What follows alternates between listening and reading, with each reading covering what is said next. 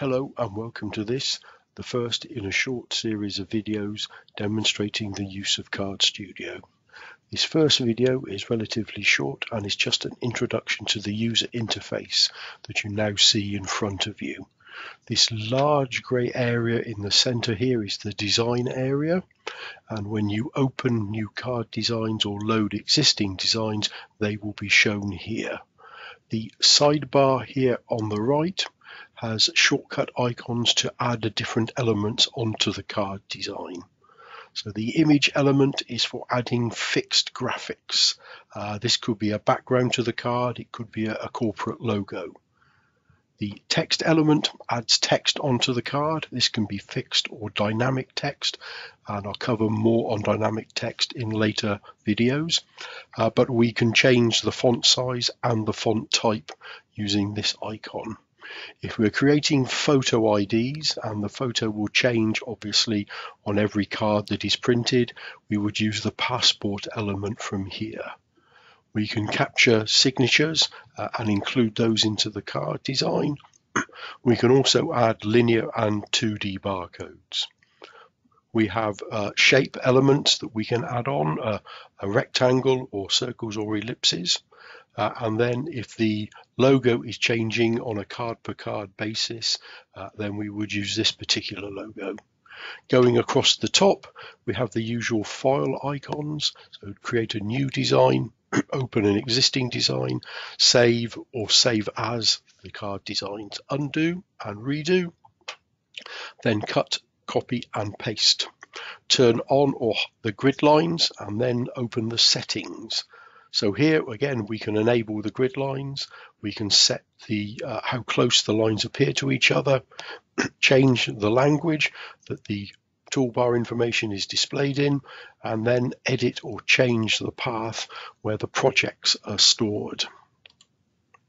Next to that, then we have the show front and back. So these next few uh, icons allow you to flick between the front and back of the card or show only one of them. Showing both sides obviously is only really applicable if you are printing dual-sided cards. If you want to show just the front, we can use this icon or just the back uh, this icon. These two then look at layers. So this will show you the design layer and this will show you the speciality layer that's associated with the ZC350 and the speciality ribbons. So with this uh, icon, we could then add uh, text or graphics uh, to be printed on the card using that speciality panel. Here we have the, the zoom icon so we can zoom closer into the card design. And then from here we could launch PrintStudio. Uh, using the file menu at the top then we have file. Again create a new card design open existing design. And perhaps importantly here import an existing design from CardStudio version 1 and there will be a separate video going through how to do this and what the results look like under edit, we have then the undo, the redo, cut, copy and paste. And then here, bring an element to directly to the front or to the back of the card or send that element backwards or forwards one level. Under view, we can see the card design and the card properties and they will again become more apparent when we actually start loading or creating card designs.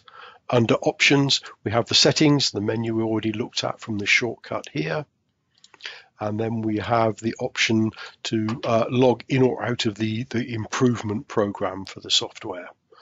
Under help, then we have the option to review the help files, to view the software change log, so we can see the updates that have happened to the software. We can look at the license information uh, and this is uh, important if you need to report issues uh, to technical support. They may ask for your license uh, information, uh, but also from here we can deactivate the license on this particular PC. We can upgrade to a higher level of the software if we needed to, or we can purchase a license number.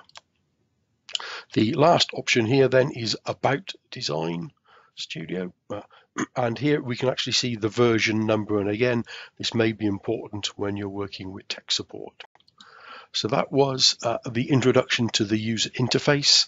The next video will then talk about opening or creating a new card design and adding elements into it. Uh, thank you very much.